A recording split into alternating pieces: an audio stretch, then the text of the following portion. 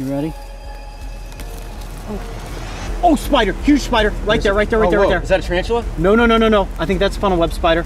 Okay, bite from this is potentially lethal. I'm just gonna set that down and see if I can coax it. It's in, it's in there, it's in there.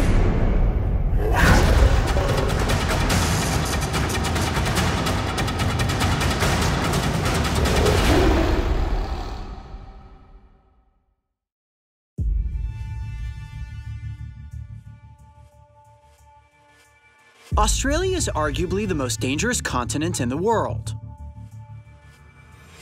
I'm sure that as your imagination begins to run wild, you are likely thinking about being snatched from a river's edge and eaten alive by a giant saltwater crocodile. Or perhaps you are envisioning how terrifying it would be if you were to stumble upon and be bitten by one of its incredibly venomous snakes, like the eastern brown. However, it's not only the reptiles that you need to be weary of. Tonight we are exploring just outside of Sydney, the most densely populated city in Australia, which also happens to be home to the world's deadliest spider, the Sydney funnel web. Armed with a set of massive fangs and an incredibly toxic venom, just a single bite from this spider has the ability to kill a human. Sounds terrifying, yet these spiders are rather elusive and tend to avoid humans at all cost. In fact, they can be rather difficult to find, as building their silk-lined, funnel-shaped burrows under rocks or in rotting logs keeps them hidden and out of sight. Ooh, covered in ants. Watch out for that. Let's go on the back side of this tree. Some logs to flip over here. So unless you were like me and are flipping over debris in the environment, your odds of encountering one are pretty unlikely. You ready? Lift this up. Oh. Oh, spider, huge spider. Right there, right there, right Oh, there, right whoa. there. Is that a tarantula? No, no, no, no, no. I think that's a funnel web spider. Right there, just came out from underneath that log. Look at its abdomen right there.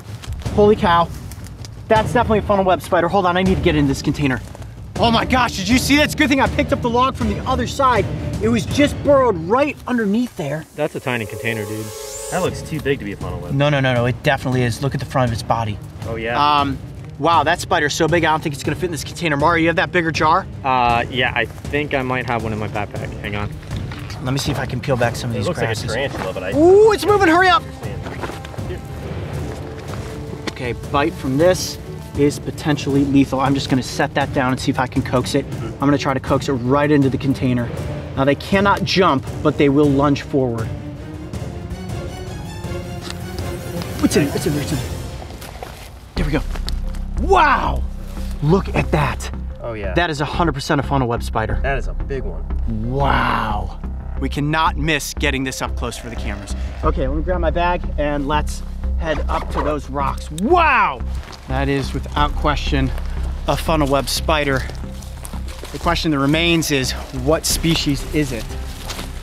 I want to find a good flat open rock. How about that one right there?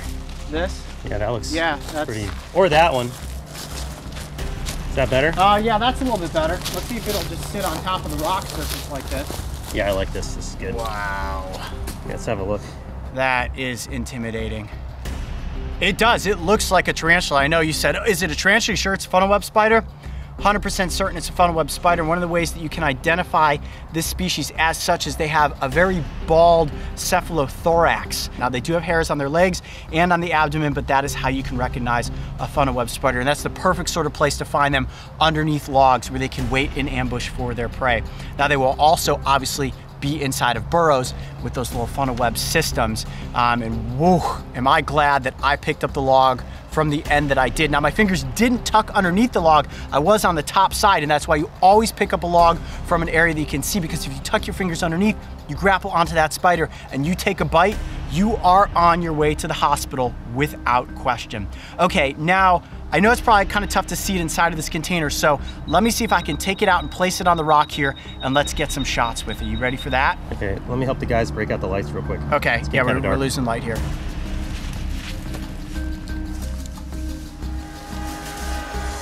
All right, guys, we have the lights set up now, and in the lights, the spider is even more intimidating looking. You can see the sheen on the legs and the cephalothorax.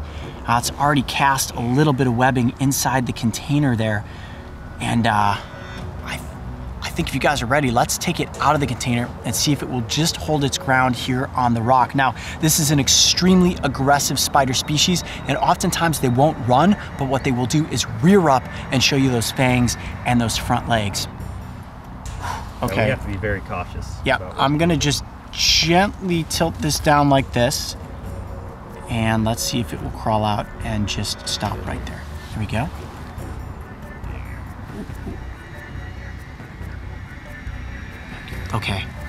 See if I can get it to stay still. Oh, you stay, you stay, you stay. Actually, maybe I'll do this. It seems to be more comfortable inside the container. Yeah, that works for me. How about you, Mark? Okay. It's just such a dangerous spider. I mean, even more so than a wandering spider. Oh, okay.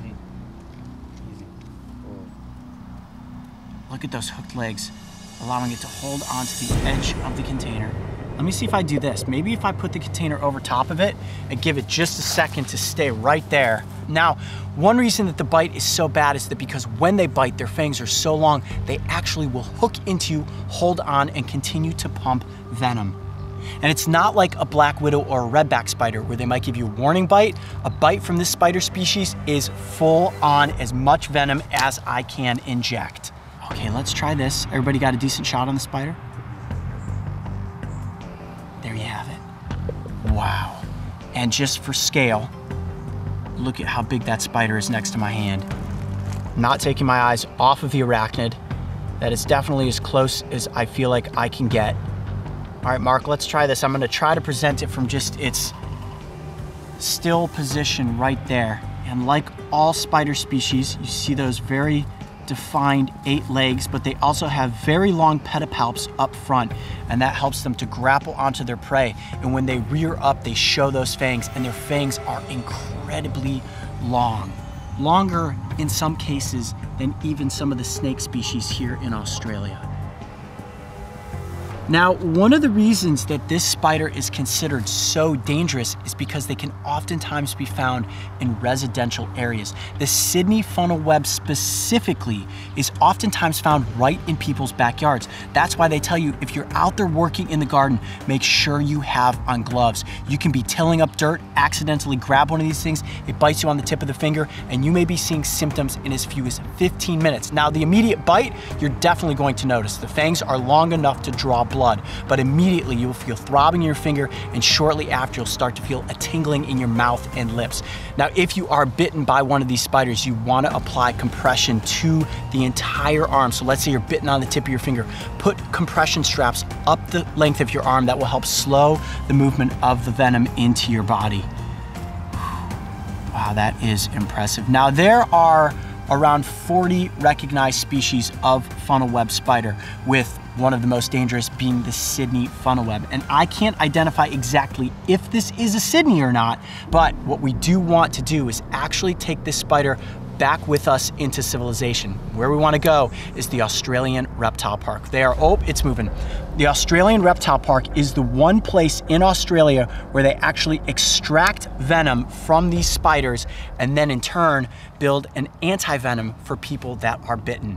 So this spider that we found right here might actually be used to save some lives. How cool is that? Awesome.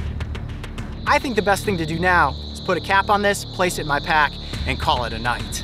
I'm Coyote Peterson. Be brave. Stay wild. We'll see you on the next adventure. All right, we are taking this spider to the Australian Reptile Park. Wow, what a find. Australia is home to a collection of dangerous arachnids, from the redback to the huntsman, and ultimately the funnel web. This beautiful continent is crawling with venomous spiders. Catching a funnel web spider is something I had always hoped to do, and now with one in my possession, it was time that the crew and I headed to the Australian Reptile Park. Famous for being the only sanctuary of its type in Australia, they are renowned for their spider and snake venom milking program. Will our spider's venom be used to save human lives? Stay tuned for the fascinating conclusion as I get dangerously close to this creepy arachnid. And don't forget, subscribe so you can join me and the crew on this season of Breaking Trail. Things are about to get dangerous.